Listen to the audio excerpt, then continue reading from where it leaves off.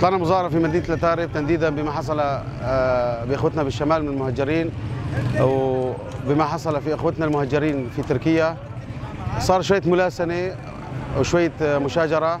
رد الجيش التركي بقنابل مسير للدموع. رد عليه المظاهرين بال- بالحجر. بعدها اشتدت وصار الجيش التركي يضرب رصاص في الهواء. نحن ما توقعنا أن يسوي الجيش التركي هيك أو يرد علينا هيك على أساس الجيش التركي هو أخ لنا وهو جاي لحماية الأراضي السورية من بطش النظام. عنصريه مع المهجرين السوريين اللي بالمخيمات اللاجئين من ترحيل من ضرب من اغتيالات وما بظن لازم يصير هيك في تركيا كوننا نحن حليفة إلنا للأراضي السورية المحررة من من نظام الأسد.